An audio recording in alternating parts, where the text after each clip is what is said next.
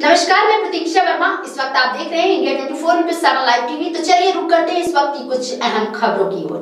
खबर है बिहार से आपको बताते चले, बिहार में शराबबंदी कानून को सफल बनाने और शराबियों पर नकेल कसने के लिए शिक्षा विभाग ने नया फरमान जारी किया है। जी हाँ आपको बताते चले, इसके मुताबिक अब राज्य के सभी सरकारी शिक्षक शराबियों की पहचान करेंगे और इसकी सूचना, उत्पाद एवं मध्य निषेध विभाग को देंगे। शिक्षा विभाग के अपार मुख्य सचिव संजय कुमार ने बिहार के तमाम डीओ और डीपीओ को पत्र जारी कर इसे अमल में लाने को कहा है। जी हाँ आपको बता दें, यह आदेश तमाम सरकारी शिक्षकों के साथ शिक्षक समितियों को भी दिया गया है। शिक्षा विभाग के इस फरमान के बाद राज्य का सियासी पारा गर्म है। वहीं मुख्य विपक्षी दल, राष्ट्रीय जनता दल, आरजेडी के प्रवक्ता मृत्युंजय तिवारी ने इसको तुगल की फरमान करार देते हुए कहा कि शिक्षा विभाग का यह फैसला हास्यपद है। और इसे तत्काल वापस लेनी चाहिए। जी हाँ आपको बताते चले, उन्होंने कहा कि बिहार में पहले ही शिक्षकों की कमी है।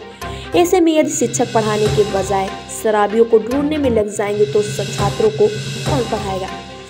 वहीं आपको बताते चले, शिक्षा विभाग के इस फैसले पर कांग्रेस ने भी कड़ा प्रहार करते हुए कहा कि यह फैसला आश्चर्यजनक है और पार्टी के प्रवक्ता अजीत तथा तिवारी ने सवाल उठाया कि जब बिहार में शिक्षक पाठशाला जाने के बजाय मधुशाला खोजने में लगेंगे तो छात्रों की पढ़ाई लिखाई कैसे होगी? उन्होंने इसे शिक्षा विभाग का सनकपन भरा फैसला बताते हुए तत्काल इसे वापस लिए जाने की मांग की है।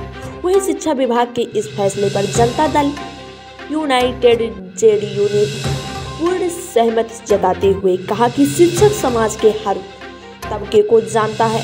और समझाता है, बिहार के तमाम शिक्षक अगर शराबबंदी के इस मुहिम से जुड़ेंगे तो इसको सफल बनाने में मदद मिलेगी। जेडीयू के प्रवक्ता अभिषेक झा ने विपक्षी दलों पर पलटवार करते हुए कहा कि बिहार में विपक्ष चाहता ही नहीं है कि पूर्ण शराबबंदी सफल हो जाए। वहीं हालाँकि सरकार में सहयोगी बीजेपी ने सधे हुए शब्दों में इसका समर्थन करते हुए इशारों इशारों में सवाल भी खड़ा किया है। बीजेपी के प्रवक्ता प्रेम रंजन पटेल ने कहा कि शिक्षकों का काम स्कूल में बच्चों को पढ़ाना है, ताकि उन्हें अच्छी शिक्षा मिल सके और उसके अंदर बेहतर संस्कार पैदा हो सके। यदि शिक्षा विभाग का यह निर्णय स्कूलों में शराब के सेवन को रोकने के लिए है तो यह स्वागत योग्य है और इसका समर्थन किया जाना चाहिए।